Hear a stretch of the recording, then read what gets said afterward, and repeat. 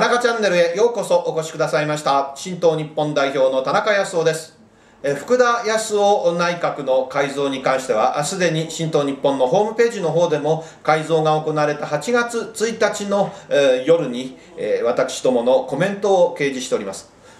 この段階では私はご存知のように、まあ、森喜朗さんであったり小泉純一郎さんであったりこうした周囲のモンスターペアレンツのような人もしかするとこの中には田原総一郎さんをはじめとする方々もいるのかもしれませんがこうした方々のモンスターペアレンツのいうことを聞き分けよく聞いたのが福田康夫さんでありあるいは、えー、麻生太郎さんではないか。こうしたことに抗うだけの胆力気力もないとはいやはやということを申し上げました。しかし翌8月2日になりましてから私はもしかするとこの福田康夫改造内閣というのは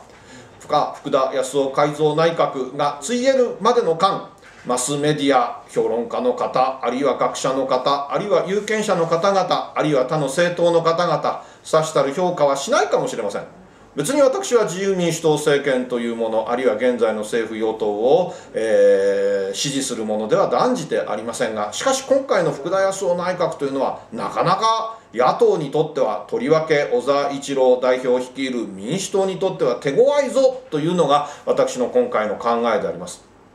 まあ、皆さんも交換伝えているようにあるいは朝日新聞読売新聞産経新聞毎日新聞日本経済新聞東京新聞いずれも述べているように改革路線から逸脱かとか改革路線後戻りかなどと書いておりますまあ、この改革路線ということはすなわち小泉純一郎竹中平蔵のなんちゃって小泉竹中ヘナチョコ改革が改革というふうに述べるということでこれに関しての判断はもうすでに私はもう100万回と述べてるところですから改めて述べるところではありませんが無論この脱小泉路線ということは明確であろうと思います。しかしこの脱小泉路線であるから福田内閣は改革をしないのだ後ろ向きなのだというふうに捉えるのは少し船舶ではなかろうか。なぜならば皆さん閣僚の名簿及び党4役をご覧いただきたいのですがある意味で言うと私が何でこの人が入ったのかなという順送りのようにあるいは論考交渉のように見える方というのはせいぜいが1人か2人であります。そして、え舛添洋一さんという、まあ、ともすればパフォーマンスが過ぎると言われてる方を除くとですね良い意味で仕事しないかと私は言えるのではないかと思います。松添洋一さんを残したのはまあ無論世間においての評価が高いということがあるのでしょうがしかし厚生労働大臣として年金の問題を120%どころか 100%99% 解決できるということはこれはどなたにおいてももはや不可能であります。ということはとりあえずは皆さんから期待をされている舛添洋一さんというパフォーマンスの方を厚生労働大臣には置いとく。自爆してしまったりですね、えー、多爆によって自滅をしてしまってもこれは致し方ないというある意味では福田康夫という方の冷徹な判断ではなかろうかと思います。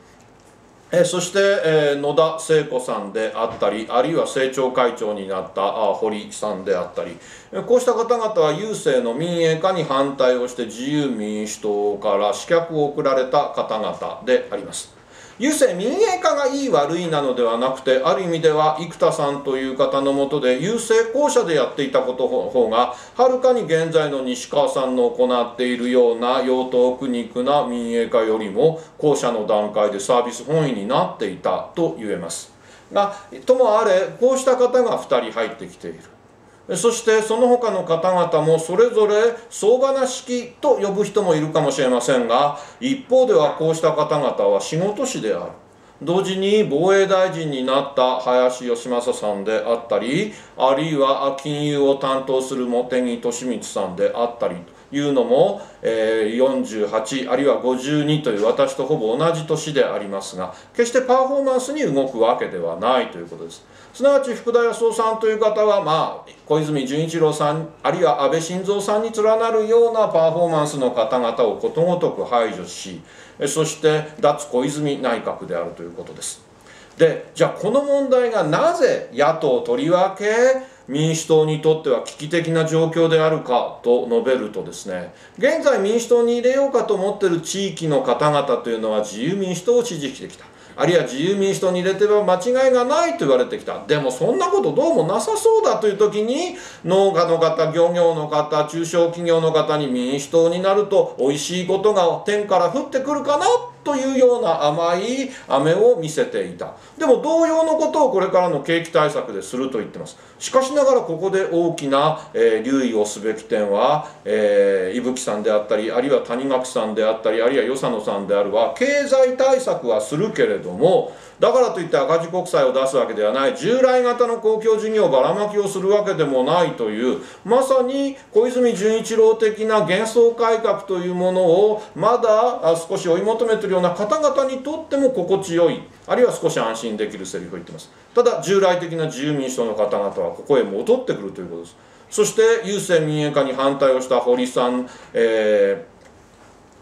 をはじめとする方々がですねもう一度、え、野田さんも含めて入ったことによってある意味では国民新党であったりあるいは、えー、その他の今後新党の動きがあると言われてるような方々の勢力をも自由民主党に引きつける動きがあるということです。しかし具体的に自由民主党の中では小泉純一郎さん小池百合子さん中川秀直さんの立つ場所はなくなっているということです。しかしこれらの方は与党であることのうまみを120というほど知っていますから与党から出ていくはずがありません。するとどのような具合になるかというと純粋まっすぐ君な民主党の中の松下政経塾であったり、まあ、具体的には若手のさまざまな方々がいらっしゃいますがこうした方々に小泉純一郎さんたちが接近をするようになるということです。自由民主党は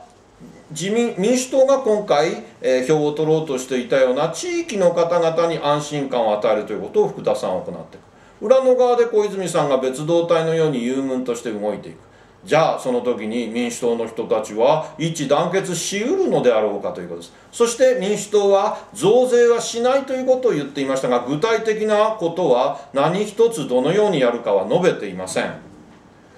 逆に言えば今回増税論者になので福田さんは増税に舵を切ったと言ってますが彼らは明確にこの2年間は増税をしないと言ってるんですから総選挙もあるいは来年の参議院選挙も増税は彼らのテーマになっていないということです。